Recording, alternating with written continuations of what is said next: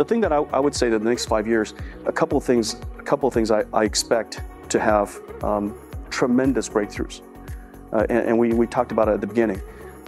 I expect that natural language processing will surprise everybody.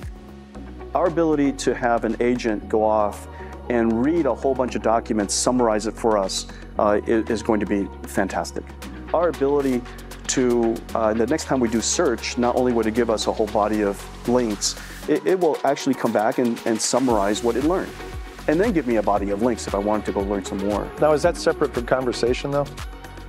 Uh, I think I think conversational conversational language processing will also surprise us. Now, of course, the, it, it, learned from a whole bunch of patterns. So, so is it soulful conversation? I doubt it.